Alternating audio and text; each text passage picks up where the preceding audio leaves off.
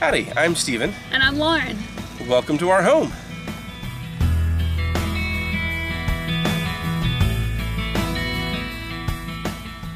We met in February of 2013. We were introduced on a blind date from some by some mutual friends of ours from church.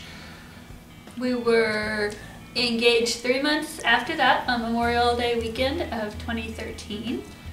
About six months later than that, in January of 2014, we got married, so it's been about five and a half years now. We uh, bought our current home in July of 2016 just to move into a, a nicer, larger house and, and hopefully start a family. So the first things that I noticed about Steven were just his gentlemanly ways. He would open the car door for me, he would open the restaurant doors for me. Um, always very concerned about putting me first, which I absolutely love. Um, he is always putting other people before himself. Um, he loves playing with our friends' kids when they come over for dinner. Um, doing Legos or Hot Wheels cars and just he gets so much excitement and joy out of watching the kids play and I can't wait to see what he's going to do with his own kids. I consider myself very fortunate to have met Lauren. Um, she's just an amazing woman. She's the love of my life. We've been married for five and a half wonderful years. She's an awesome wife. I'm sure she's going to be a great mother as well. She's a very creative person. She enjoys cooking and baking. She makes hair bows for all of our friends and families, especially when they've got little kids. Um, when she watches our friends' little little ones, she's a very nurturing person towards them. She's a former SPED teacher. She stays home now to take care of the house for me.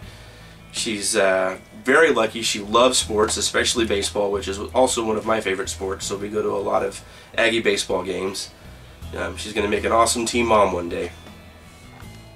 My mom lives uh, just about a block away from us, which is really convenient. We get to see her quite a bit. And uh, Steven's family lives about three hours away in San Antonio, so we don't see them quite as often, but we still get down there pretty regularly. It's nice to go down and, and take in a little bit of the big city vibe. And then on weekends when we're here at home, we do Aggie sporting events or we play a round of disc golf at some of our local parks. We just get together and play board games with friends.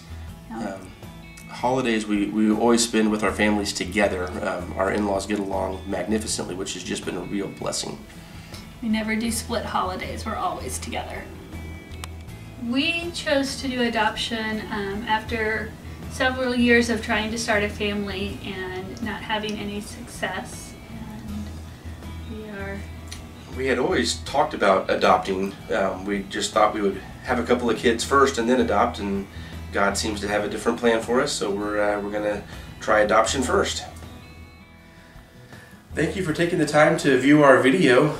We uh, appreciate you considering us and hope to hear from you soon, and we're praying all the best for you and baby. Thank you. Thank you so much.